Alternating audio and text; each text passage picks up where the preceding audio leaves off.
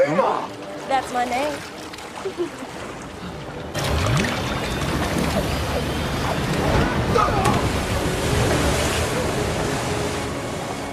Hi, boys. Welcome back. Uma, I need that to break a spell. Cast by Audrey, Sleeping Beauty's daughter. Hmm. So the good guy's the bad guy.